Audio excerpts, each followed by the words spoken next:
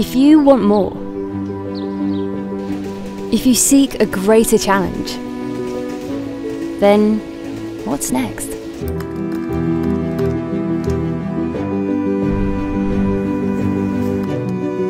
As a master's student at Bayes, the future is yours to find. It's in new perspectives, in knowledge and curiosity. It's in the 8 a.m.s and the 8 p.m.s. It's in the big discoveries and the little ones. In culture and opportunity.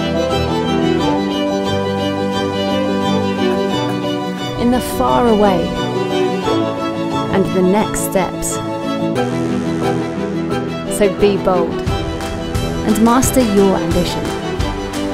Let courage be your guide and knock on future's door.